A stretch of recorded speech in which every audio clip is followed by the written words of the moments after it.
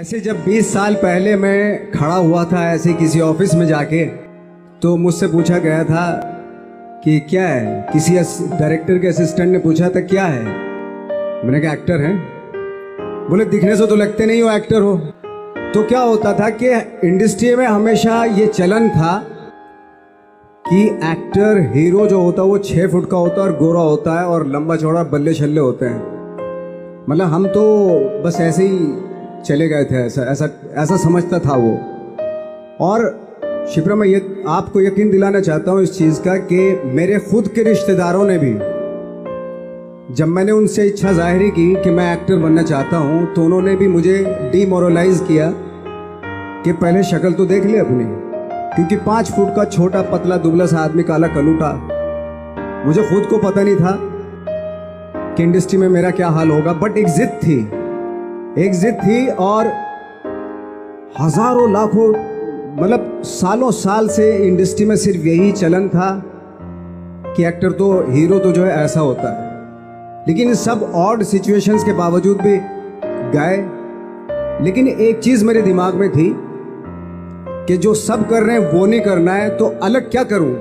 अलग क्या होना चाहिए? उसके लिए ट्रेनिंग की ज़रूरत थी। जो मैंने नेशनल स्कूल ऑफ़ ड्रामा में आके ट्रेनिंग ली, तीन साल मैंने एक्टिंग की पढ़ाई की वहाँ पे और अपनी क्राफ्ट के बारे में समझा कि एक्चुअली इस पर्सनैलिटी में अगर मैं लोगों को इम्प्रेस करना चाहता हूँ, उसके लिए एजुकेशन की बहुत ज़रूरत है। या जो भी आप काम कर रहे हो, उसमें क्राफ्ट उसका एक्सपर्ट होना बहुत ज़रूरी होता है। ऐसे ही हवा में नहीं कि जैसे पहले होता था, अरे यार तो तो बहुत खूबसूरत दिखता, फ़िल्मों में जाके काम करना शुरू कर दे, ऐसा नहीं। किसी चीज़ को बारीकी से जानना, उसके लिए ट्रेनिंग की एक्सपर्ट्स की एक्सपीरियंस की ज़रूरत होती है। तो मैंने ट्रेनिंग ली नेशनल स्कूल ऑफ़ ड्रामा से।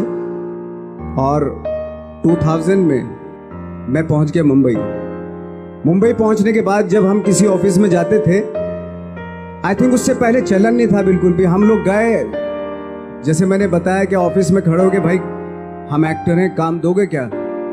तो बोले, पहले हुलिया तो देख अपना तू। तो ये हर बार सुनने के लिए मिलता था।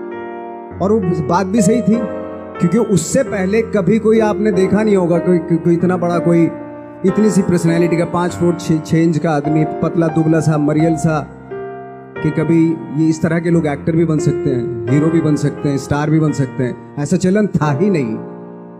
मैं कॉन्फिडेंट था बिकॉज़ ऑफ़ माई ट्रेनिंग मैंने ट्रेनिंग ली थी और अपने क्राफ्ट के बारे में बहुत अच्छे से जानता था मैं। और उस चीज़ का सिर्फ़ कॉन्फिडेंस था मुझे। कि आज नहीं तो कल कल नहीं तो परसों, या दस साल, या बीस साल, या तीस साल। तीस साल के बाद नंबर ज़रूर आएगा मेरा। मैंने मैंने कभी भी अपने को टारगेट नहीं किया। टारगेट नहीं दिया मैंने कि अगर दो साल ट्राई करके देखता हूँ उसमें, अगर हो गया तो ठीक है, वरना कोई दूसरा फ़ील्ड अपना लूँगा। ऐसा कभी नहीं। जिस चीज़ का पैशन होता है, जज्बा होता है, अगर आप दिल से चाह लो ना तो पूरी दुनिया झुक जाती है उसके ऊपर।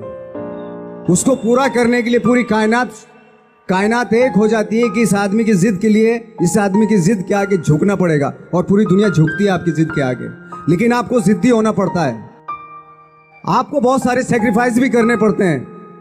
क्योंकि ये आपने चाहा है। परीक्षा देनी पड़ती है आपको। जितना बड़ा इम्तहान होगा, उतनी बड़ी परीक्षा भी देनी पड़ेगी।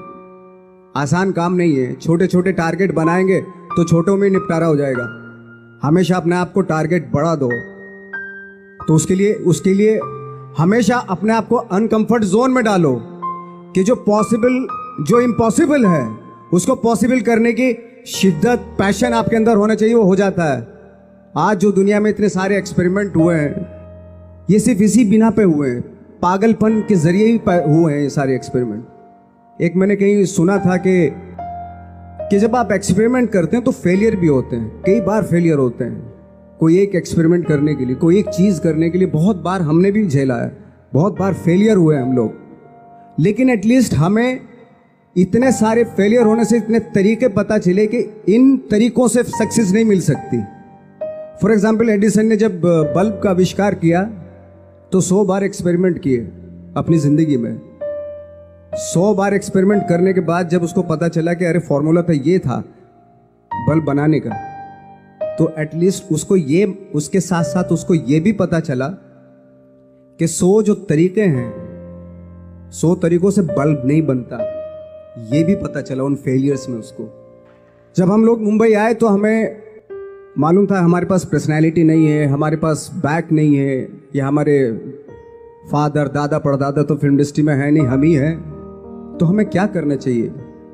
इसलिए लोगों के बीच में घुसे रहते थे, आम लोगों के बीच में घुसे रहते थे। उनका एक्सपीरियंस सुनते थे, उनको ऑब्ज़र्व करते थे। तो आई थिंक मेरे पास पंद्रह साल तक, दस साल, दस बारह साल तक कोई काम नहीं था। जैसे आपने बताया कि बहुत ही दस दस सेकंड के रोल करके घर में आके बैठ जाता पूरे साल खाली बैठे रहते थे हम लोग। लेकिन एक चीज़ थी कि लोगों के बीच में रहते थे। लोगों के बीच में रहने से ये एहसास हुआ हमें कि तरह तरह के लोग हैं। लेकिन हमारी इंडस्ट्री में सिर्फ़ एक ही तरह की एक्टिंग होती है। हज़ारों करोड़ों लोग हैं इस दुनिया में। लेकिन एक्टिंग सिर्फ़ एक ही तरीके से होती है हमारे यहाँ।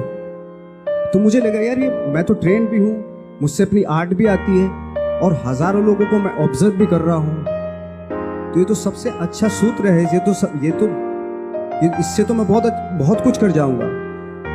तो जब ये सूत्र पता चला मुझे कि अब मैं ये जो हज़ारों लोगों को मैंने ऑब्ज़र्व किया है, अब जब भी मुझे कोई रोल मिलेगा, उन्हीं में से वो एक इंसान होगा। उसी में वो ठाकरे, बाड़ा साहब ठाकरे होंगे, उसी में मंटो होगा, उसी में गणेश गायतोंडे होगा, उसी में फैजल खान होगा, उसी में माजूमदार साहब होंगे। तो इस तरह के ये कब हुआ? जब मैंने लोगों, हमने लोगों को ऑब्ज़र्व करना शुरू किया, लोगों के बीच में रहे।